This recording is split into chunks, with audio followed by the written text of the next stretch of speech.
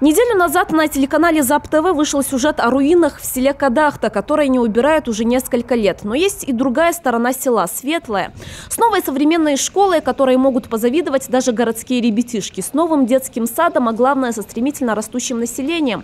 Строится в паре километров от центра даже новый микрорайон. Активные жители своими силами облагораживают его, обустраивают детскую площадку. Все хорошо, кроме дороги. Выехать из микрорайона – задача повышенной сложности. Данная дорога была отсыпана, прогребена и нормально сделана по соответствии стандартам. Дорожная служба перекопала эту дорогу, соответственно, основываясь на том, что администрация района не подала заявку на узаканивание этого поворота. Перерыли, поставили бетонные блоки и прокопали канаву водоотводную. Спросили, как переходить эту канаву в абсолютной темноте, потому что второй год уже нет освещения на остановке. Просили, как переходить, они взяли эту же канаву, закопали. То есть сама суть этой канавы непонятна. Только это препятствие для жителей, чтобы попасть домой. В региональном министерстве строительства, дорожного хозяйства и транспорта прокомментировали ситуацию. Оказывается, бетонные блоки поставили для безопасности, а не наоборот. Когда строился микрорайон ну, в районе там, Кадахты, мы сделали два примыкания официальных. То есть они официальные примыкания, которые у нас включены в паспорт организации дорожного движения. Эти два примыкания официально открытые. Да, в дальнейшем просто администрация района, Карымского района, сделала правильные подъезды до, до самого населенного пункта.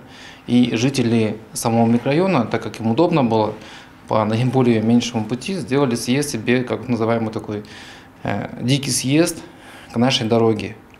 Почему мы закрыли движение? Потому что там, во-первых, находится автобусная остановка, и для обеспечения и пассажиров, которые садятся на автобусы, и для обеспечения безопасного дорожного движения мы, соответственно, поставили блоки. Впрочем, это не единственная жалоба жителей нового микрорайона. Большую сложность испытывают не водители, а дети, которые проделывают большой путь, чтобы добраться до школы. Дети идут в школу.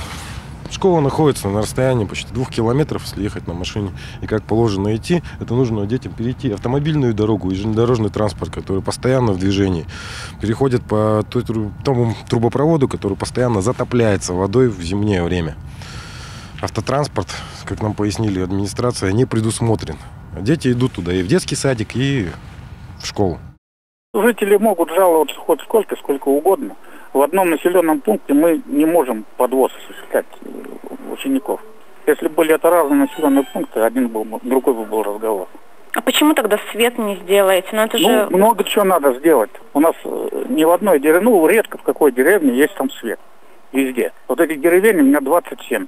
Я их не могу одномоментно осветить, асфальтировать, пустить автобусы. Не так там все плохо в этой кадах.